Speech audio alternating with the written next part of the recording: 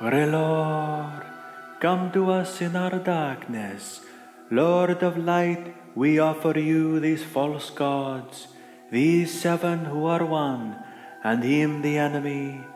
Take them and cast your light upon us, for the night is dark and full of terrors.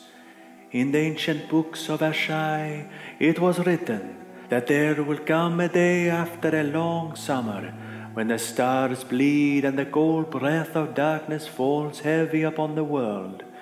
In this dread hour a warrior shall draw from the fire a burning sword, and that sword shall be Lightbringer, the red sword of heroes.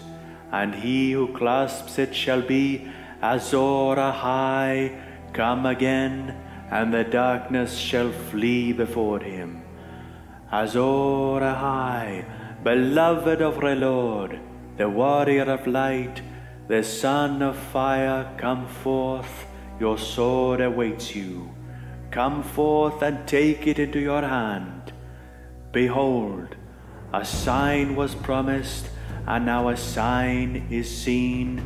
Behold, Lightbringer, Azor Ahai has come again.